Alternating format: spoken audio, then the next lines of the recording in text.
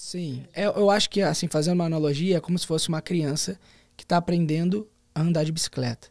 Quando você está aprendendo a andar de bicicleta, você fica ali do lado, com medo da criança cair. Então você está ali o tempo inteiro, ela vai cair. Você está aqui, você está aqui. Então é assim que eu vejo Deus no início. Sim. Então ele está o tempo inteiro ali falando, mostrando, falando, mostrando. Quando você começa a andar um pouquinho, fala, deixa eu observar para ver se ele aprendeu a andar mesmo. Mesmo. Sabe? Se ele cair, eu vou lá.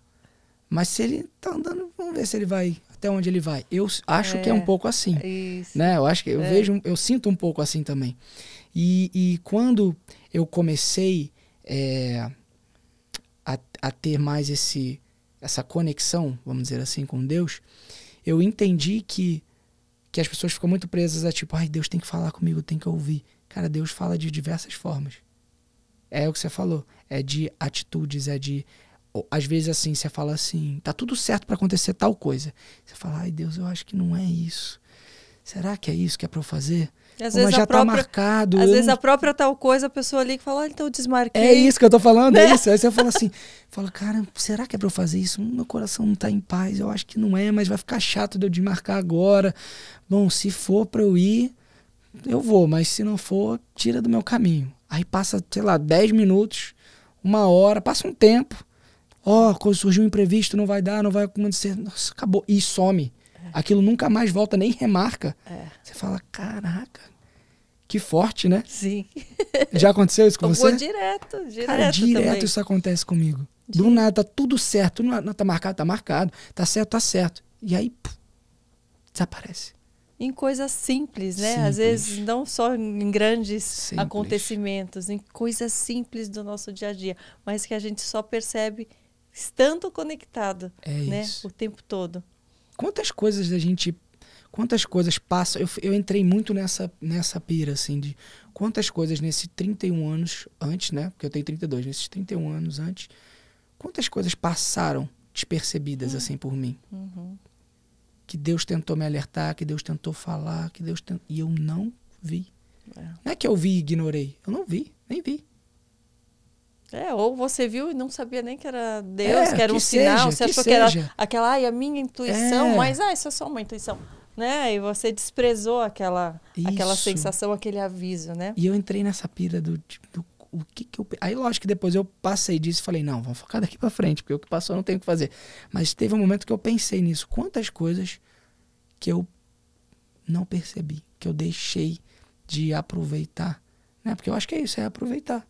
Pô, é um privilégio você ter essa conexão com Deus e Deus tá ali o tempo todo falando com você, te guiando, te mostrando o caminho. Pensa, você vai viajar para um lugar que você não conhece. A vida. A vida é uma grande viagem, você não conhece a vida. Então você foi para Itália, não conhece Itália. Beleza. Você tem dois caminhos, ou você vai lá e desbrava a Itália, ou você pega um guia e esse guia vai te vai te mostrar o caminho da Itália.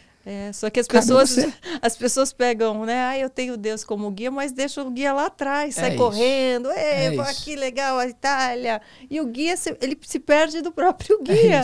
Contrata um guia, sabe que o guia existe e não coloca o guia na frente E às vezes para guiar. e às vezes usa o guia só nos Quando- momentos que são pertinentes, né? Uhum. Também tem isso, né?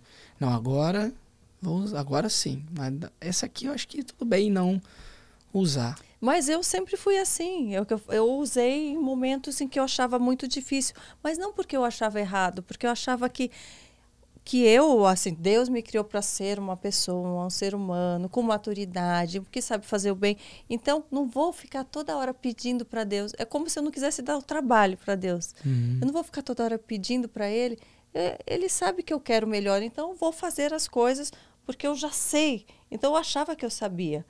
Só que Deus gosta, Deus gosta que a gente pergunte as pequenas coisas para Ele, que a gente ande com Ele.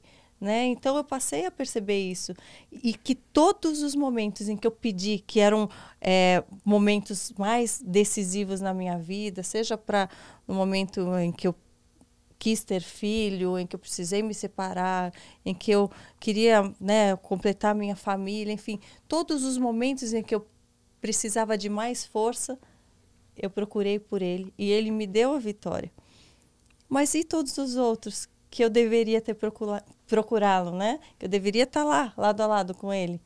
Não, porque eu achava que eu já era autossuficiente. Eu tinha autoconfiança, eu tinha. O que é bom a gente ser autoconfiante, mas andando com Deus. Sim. Né? Autoconfiante para poder realizar aquilo que Ele está mandando e tendo essa percepção. Por nós mesmos, né? Muitas vezes a gente chega, a gente é vitorioso, a gente conquista mundos e fundos, mas sem estar no propósito dele. Uhum. A gente vê tantas pessoas, né, se gloriando, ai, porque Olha, mas aquele um não acredita em Deus, não tem nada e está lá no pedestal, conquistou, milionário, é isso e aquilo né? Mas e, e, o vazio, né? Lá de dentro, aquela completude que realmente só Deus preenche. Você pode estar tá no buraco, não pode ter nada, mas você vê pessoas felizes, se sentindo completas, porque é uma paz que mesmo a gente estando lá na tempestade, com nossas dúvidas, aquela paz, aquela sensaçãozinha assim, aquele quentinho, né? assim no coração, é só Deus que dá, só e se a gente que for parar pra, E se a gente for parar para pensar, é vou tomar cuidado da maneira que eu vou falar para não parecer é, negativo, né? É a, é a coisa, é, não coisa, mas é, como é que eu posso dizer isso? É difícil para não parecer uma maneira pejorativa, mas bom, não me leve a mal. Mas o que eu quero dizer é Deus é não é caro. É isso que eu quero dizer, é acessível para qualquer pessoa. Uhum. Tipo, não importa se você é milionário ou se você não tem dinheiro. Porque o que você estava dizendo era que o cara pode ser milionário, ele pode ter um vazio. Ele pode ser muito pobre e ele pode estar preenchido. Sim. Ou seja. E vice-versa, né? É, e também. Sim. Mas por que, que o, o que não tem nada pode estar preenchido? Porque Deus não é caro. É. Não, não, você não precisa pagar para ter Deus. Você não precisa comprar. É. Ele está ali. É só você querer. É. Ele está esperando você chamar por ele. É. Ele só está esperando isso. Ele só está esperando por você dizer: Eu não consigo sem você. Eu entrego as minhas, a minha vida nas suas mãos. É só isso que ele quer. Mais nada. E isso é fácil de você fazer. É. Você só precisa querer. Por que a gente não enxergou isso antes? Não sei, acho que é porque a gente precisava passar por isso. Acho que a gente precisava passar por isso. Eu acho que a gente não passa por. Eu acho que tudo tem um propósito de fato. Então eu acho que eu precisava passar por isso. É o que volto É. a dizer. É, se eu pudesse escolher em não magoar uma outra pessoa, eu escolheria não magoar. Mas eu acho que foi necessário eu passar por isso Claro. para que eu pudesse atingir outras pessoas, para que eu pudesse incentivar outras pessoas. Porque as pessoas.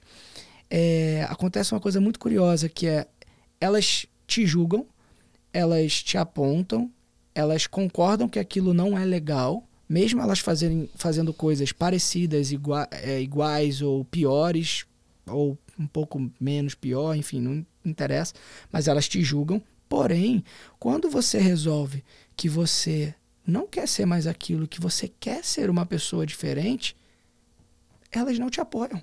É. Então é muito louco isso. É. Porque eu estou batendo em você, dizendo que o que você fez ou o que você faz é ruim e que você merece morrer. Você não merece viver no mesmo É. mundo que eu. E quando você e aí, se quando transforma... você se transforma e decide fazer diferente, eu não vou te apoiar, porque você não pode ser isso. É. Você tem que ser aquilo que eu determinei que você é. É. E aí é que tá. O, o, o passado, ele não é lugar de permanência. Ele não é lugar de permanência. Ele é um lugar para você lembrar do, da onde, do que você fez e falar, eu não quero voltar para lá. Uhum. Mas ele não é um lugar para você ficar.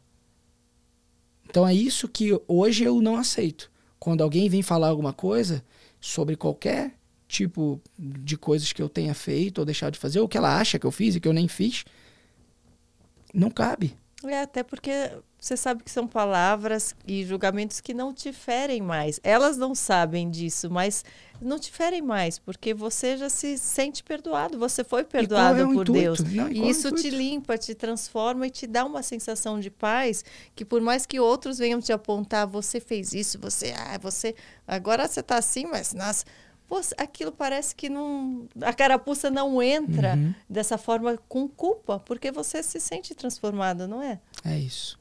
E aí eu, eu, eu penso assim, é, talvez, talvez o grande propósito, Deus, eu sempre acho assim, Deus ele trabalha, ele, ele, ele vai, monta toda uma situação, ele te entrega tudo para que depois ele te capacite com histórias, com vivências, para que você possa aí sim transformar uhum. outras pessoas, né?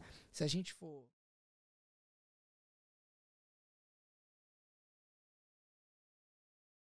Se você já amou esse trecho, você vai se inspirar ainda mais assistindo o bate-papo completo. Clica aqui.